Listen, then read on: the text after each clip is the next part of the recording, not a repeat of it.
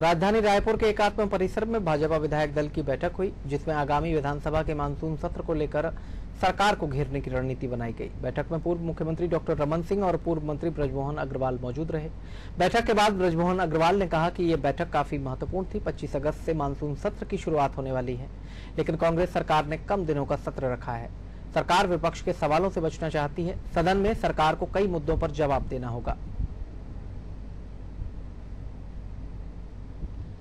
जो विधानसभा का सत्र है, ये इतना छोटा सत्र है कि इसका कोई औचित्य नहीं होगा।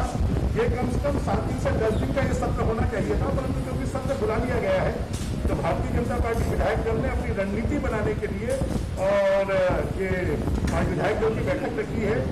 वास्तव में तो इतने ज़्यादा मुद्दे हैं कि ये सरकार ने पिछले क्योंकि विधानसभा में जो बजट सत्र था, वो भी पूरा नहीं हुआ। ये तीन दिन का सत्र कुछ बहुत काम नहीं हो पाए